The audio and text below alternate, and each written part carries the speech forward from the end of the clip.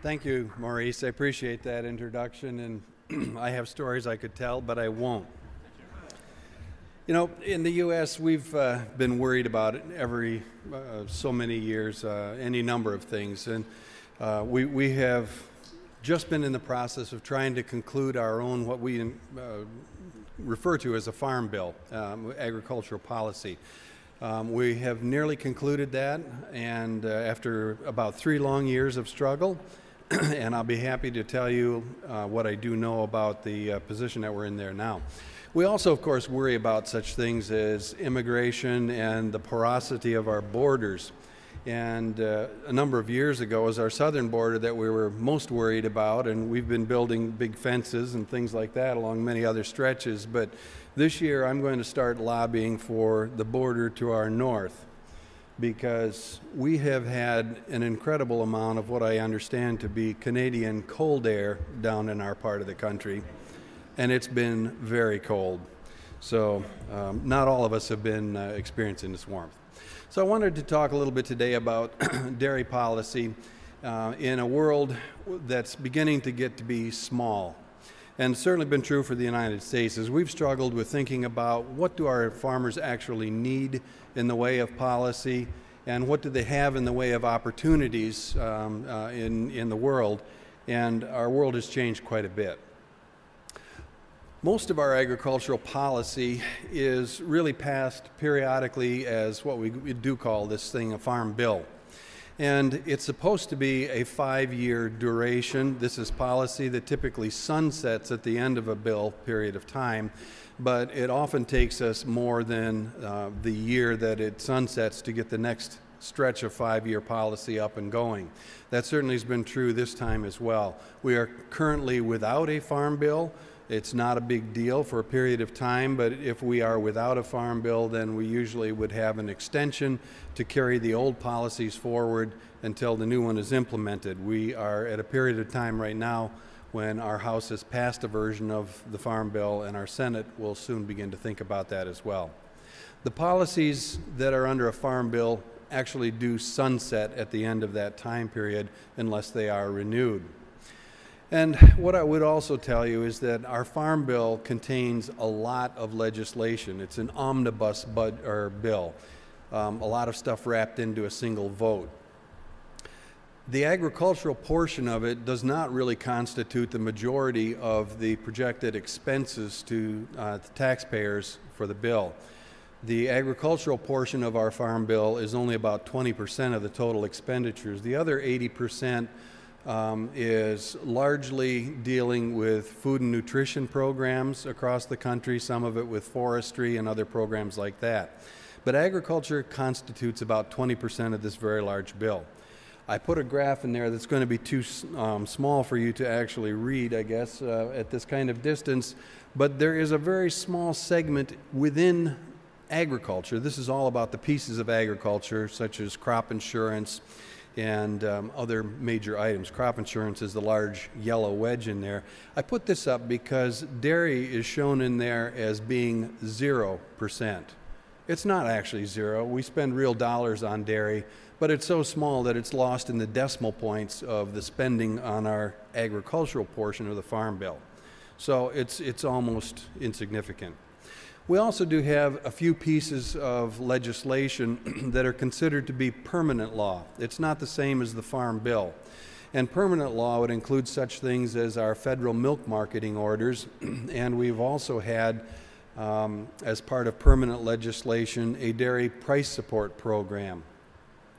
That price support program has been overridden by the farm bills for very many years. It has been completely inactive and it is something that could be invoked again if we didn't pass a farm bill. Um, but since we are passing it, it's going to also go into sleep mode and not be invoked. So there is some permanent legislation that addresses dairy. When you think about what has been the biggest risk that dairy producers are facing, the thing in which they would say we need help with, um, it's difficult for us to solve this problem on our own, I think they would tell you price volatility. This is a graph that goes back to about 1990s or uh, late part of the 80s here and shows you the increasing milk price volatility that we've been experiencing um, in the United States. This volatility has gone from some of the peaks um, uh, to troughs within a few months period of time that have been essentially a halving or a doubling of milk prices. So um, this kind of volatility has caused some real problems with concerns. Most notably, in 2009, we had a tremendous drop in milk prices that took us down to a level that was um, very difficult for dairy farmers to deal with. There were very few farms that were cash flowing during this period of time, and an awful lot of equity was chewed up as farms drew on their credit reserves. We've also had more recently um, volatility in feed costs, feed prices, the major inputs to producing milk. And you'll notice on a graph like this, this is a buildup of um, what the National Ag Statistics Service would call the value of the dairy ration. It's for 100 pounds of ration equivalent. It's made up of a certain amount of corn, a certain amount of soybean meal, a certain amount of alfalfa hay. And this calculated value of the ration um, had been at about $5 per 100 pounds of, of this ration for many, many years, some ups and downs. But when we hit 2008 with the oil crisis and um, our implementation of ethanol production, it had the impact on dairy producers of nearly doubling that ration value over a short period of time. It declined from that, but you'll also see that it rose again to peaks that were greater than they were before, up to this $11, $12 range. More recently, and I've been just the last few months since our harvest season concluded, um, we've had uh, a drop in this value of the ration. So for dairy producers, it's volatility both on the uh, price side of the product they're selling and on the major cost of producing that product. This is a margin graph, a milk minus feed cost margin. And you'll notice that there's a great deal of volatility in this graph period. You'll see in 2009, which is the first major trough that we had um, there, where prices fell below a $4 margin for a number of months. This was when those milk prices declined rather dramatically. In 2012, we didn't have so much of a milk price decline, but this was when feed costs increased rather dramatically. And again, we dropped below this $4 margin. So, dairy producers have been trying to focus on policy that would give them an insurance product to insure against this milk feed price margin. The calculation of this margin is something that we call the U.S. all milk price. It's not regionally differentiated it's a national price, and so uh, it's the U.S. all milk price, and it is a value of a dairy ration. Not quite the one that I showed you, but one that parallels that fairly closely. Dairy producers would be able to purchase um, a um, margin uh, insurance to protect margins somewhere between $4 and $8 per 100 pounds of milk. And they would be able to do that in 50 cent increments. The premium structure for dairy producers would, of course, be graduated as you're moving up to higher levels of margin coverage. It becomes increasingly expensive. And in fact, this is nothing linear at all. It, it becomes um, kind of a sweet spot for dairy producers at a margin that's somewhere near a long term average of about $6.50 per 100 pounds of milk. Um, after that level of $6.50, those margin premiums begin to be very large indeed, uh, up to the $8 margin. There's also a social aspect that's been built into what's been proposed. We have, um, and I'm, i will talk in terms of uh, production in pounds or uh, of milk because that's the way we denominate it in our country. Um, but the uh, social aspect would favor dairy farm herds that are about 180 cows or so. The premiums for the first 4 million pounds of milk, which is about 180 cows, would be much lower premium rate than the premiums paid to cover milk production above 4 million pounds sold annually. So again, there is a social aspect to it where we would like to provide some benefit to the smaller farms that may in fact have a higher cost structure than larger farms do. The early proposals that were being thrown around and entertained and in fact um, strongly promoted by a number of dairy organizations representing uh, dairy farmers um, had included a soft quota uh, or, or supply management on here on milk productions. So when we got into periods of time that were a low margin situation, um, that would be anything under that $6 level, uh, there would be some impact not only to pay for the insurance that you may have bought um, on your milk supply, but if you were participating in that margin insurance program, you would also be obligated um, to correct uh, the market price by being strongly encouraged to contract your milk production um, you would not be paid for any milk production over a historic base that you would have during the time periods when these margins would be low. And those soft quotas, if you will, um, would get stronger as we got to lower levels of margin until uh, milk producers would not have been paid for up to 4% of their milk production during time periods when we had a $4 margin. So this was referred to as a market stabilization program or DMSP, Dairy Market Stabilization Program. Um, this turned out to be the very controversial part of the bill. What's been happening? Well, uh, initially the Senate passed their version of a farm bill. We, we, we have uh, legislation that would require each of our houses or chambers to um, pass a bill, and if there are differences between the bills, in the two chambers, then they have to reconcile those differences. The Senate was the first one to pass their version of a farm bill, and it included uh, in dairy policies this market stabilization or the quota program. That drew some strong political battle lines in the United States. Dairy processors were almost uniformly opposed uh, to any form of supply management and there were a number of vocal dairy producers themselves who were also opposed to any form of supply management. But the majority of dairy producers felt like, yeah, this is an acceptable trade off for us to have more stable milk prices.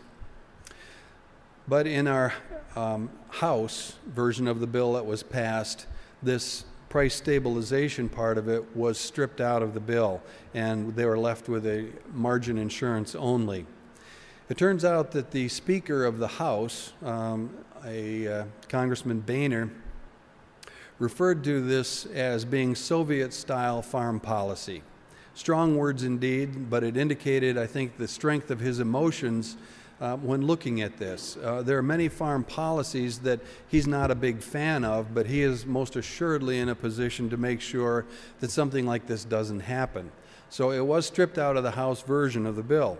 It made it back in in conference, though, between the House and the Senate um, to uh, include this, and Speaker Boehner essentially told the House that I will not bring this up to the floor even for a vote if that's included. Apparently, he cared a lot about that. So, because of this very strong and immovable stance, the conference committee decided to work out the differences between these two bills, and it didn't include anything in the way of supply management for dairy. What did it include? Well, when he refused to bring that to the floor, the compromise that came out of here actually looked just like margin insurance with no penalty to dairy producers for low margin episode periods of time. Here's what we get dairy producers will have an opportunity annually to think about the coverage level that they want to have for the milk production in the year ahead. And the choice that they can make is that they will have a basic production history, and that production history will be the highest milk production that that farm actually achieved in either 2011, 2012, or 2013. So that milk production is already in the books. It's not something that dairy farmers can do anything about. But based on that milk production, uh, they will be able to cover 25 to 90 percent of their production history.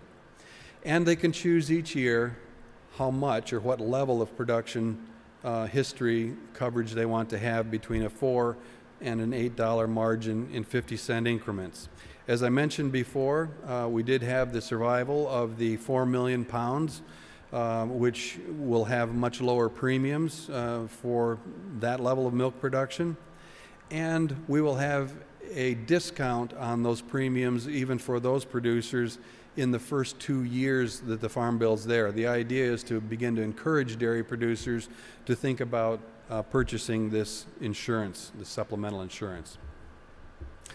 The other thing that is an aspect of this program that um, nobody saw coming until the last minute, I guess, or the last week or so that they were in discussion, and that is rather than having supply management, I would say that we've got a program now that's going to focus a little bit on demand management.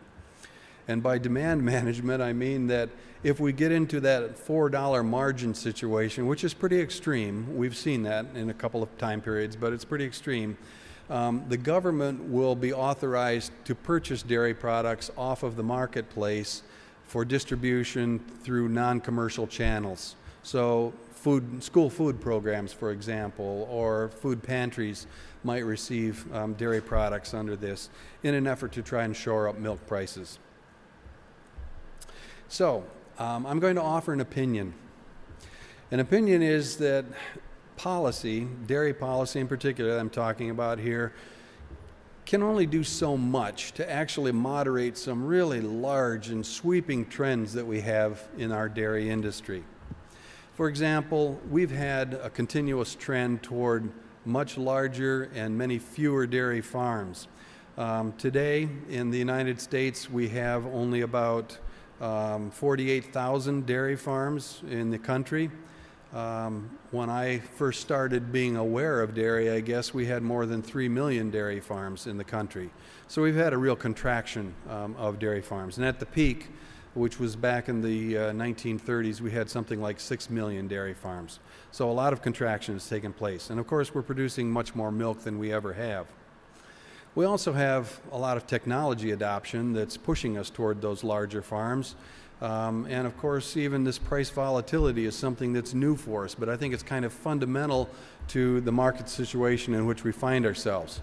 Policy can only do so much to address those things. And generally speaking, policy can either retard or slow down a trend a little bit, it's not going to take it away completely, or it can enhance a trend a little bit if you want to. So at the edges, it can moderate these things, but it can't really change them in the long term. If you have agronomic resources that are superior, when market prices prevail that are good, the comparative advantage will be to produce this product at this point in time and in this location. And in the United States, we've been having quite a shift actually in uh, where milk is being produced and under what circumstances. But we've also had some policy changes that impact us um, from around the world. And what's happening elsewhere is impacting what's happening in the United States. Uh, I'm not going to tromp on James's uh, talk any, I hope, but the European Union had kept their dom domestic prices high with export subsidies um, to move product, as much product out of the EU as they needed to for a long period of time, and with production quotas in different countries. They did this to keep their farm prices high and a vital agricultural industry. Many emerging countries have had a greater demand for dairy products as they wanted to improve the quality of their diet.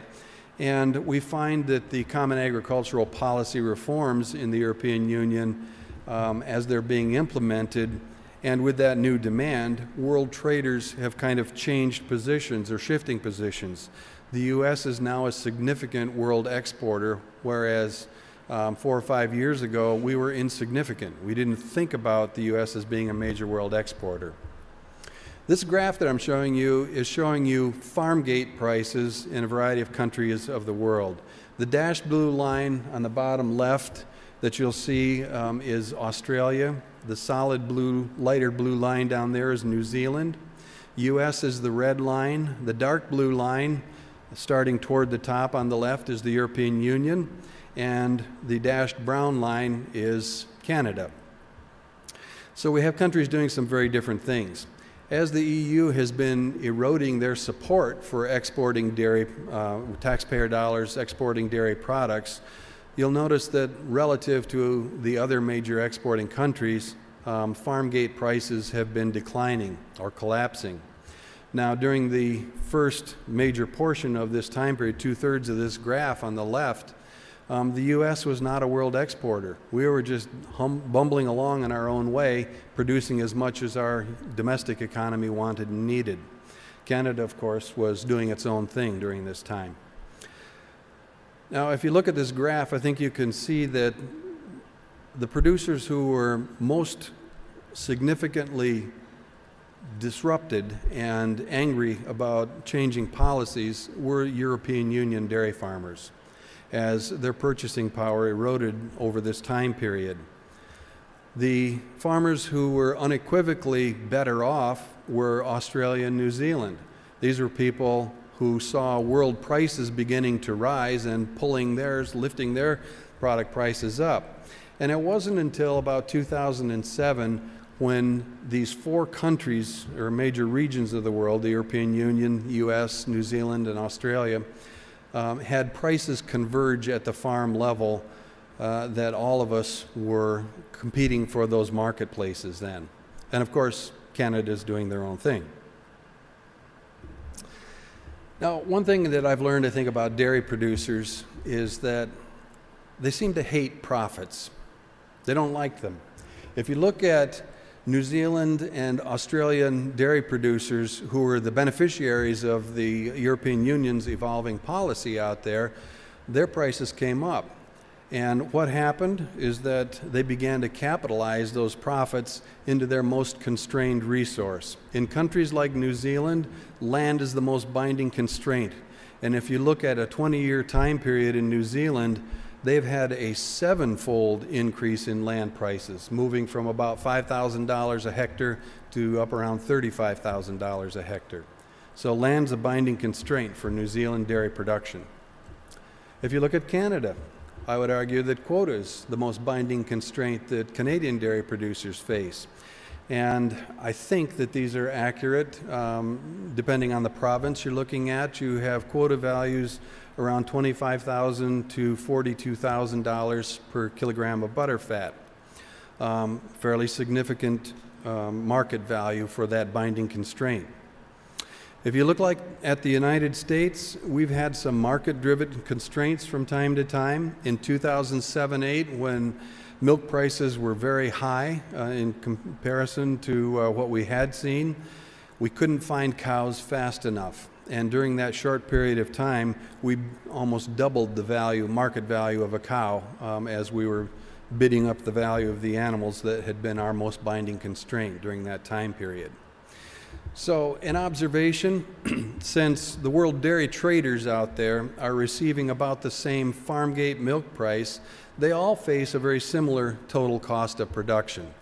Some of these costs that we're bidding into the constrained um, or the, the binding constraints out there become fixed costs for us. But those cost structures are rather different. The fixed costs are the costs that you're committed to uh, in the short run. The variable costs are costs that you can, or expenses that you can change quite quickly. Uh, we aren't necessarily committed to those. If you take a look at what economics would say, um, is that you shouldn't produce if milk price or price of any good falls below your variable costs of production. You'll lose less money by not producing. It's not easy to do with a dairy farm, but in relative terms, I'm showing on the left-hand side of that graph um, the difference between fixed costs in red and variable costs in blue for the United States and fixed cost and variable cost for New Zealand. Quite different. If the milk price falls to, say, $30 per kilogram or per 100 kilograms or less, then the United States would find that we lose less money by um, not milking cows, uh, turn the tap off. Uh, on the other hand, New Zealand would not find that they almost ever would have to even consider this. So I think that the U.S. faces price risk, um, whereas a country like New Zealand faces more production risk. Even within the U.S., our business models are different. We have regions of the country that have relatively higher variable costs and uh, regions of the country that have relatively lower variable costs. Um, that is true for the Northeast, for example, Northeastern quadrant. And if you look at just this last three quarters of the year that we had um, data on for all of the states, 50 states, you'll notice that the states that are showing in green, these are states that have actually increased milk production over the time of the first three quarters of the year are what we might call our traditional dairy regions. These are regions of the country where we own a land base that's equivalent to producing at least our forage needs for the farms, for the most part. The farms that are shown in red or pink are farms that have lost milk production during this first three quarters of the year, and those are farms um, that are buying a much higher proportion of their feeds and able to cover less of that. So higher variable cost, lower fixed cost they had to bow out when feed prices were high and strong. So, an observation out there relative to world traders, the U.S. tends to be high variable cost production. It means that as these prices are volatile and moving around, we're the first ones that have to bow out. We're sprinters. I would say that there's nobody in the world that can produce milk as fast as we can or turn around and increase milk production as rapidly as we can. But, you know, like a sprinter, we, we can't be there for the long run. Um, we, we have to drop out um, when our milk prices fall uh, to relatively lower levels. And in particular, even within the U.S., it's the Western dairy producers that are balancing uh, milk supplies not only in the U.S., but primarily for the world as well. So we didn't sign up for that, but it turns out that we actually are balancing probably much of the world's needs um, for milk supply. Balancing's all kinds of fun on the upside. There's nothing like building barns, throwing on cows, and going to it, but it's no fun at all on the downside. In 2009, when we went through that um, serious milk price trough, it was estimated that dairy farms in, in our country may have lost as much as 30% of their equity during that one year alone. And many of the farms that rely on um, high purchase uh, feed costs uh, may have lost even more during 2012. So, what will our new dairy policy do out there? Basically, I would say there is no reason to not sign up for this. It is a voluntary program, but uh, there's no reason that you wouldn't sign up for it. There's no penalty. The only penalty is $100 a year that you pay in, in administration fees, um, which on a dairy farm is a big deal. Um, no deal at all. But it's quite possible that we can have adverse selection. So, for example, here near the beginning of this year, if we look at the year ahead, this chart is showing you a 50% um, forecast interval on this milk feed price margin, and you'll notice that at no point in time does it even get down close to an $8 level, uh, where the highest level of coverage would make an indemnity payment to dairy producers.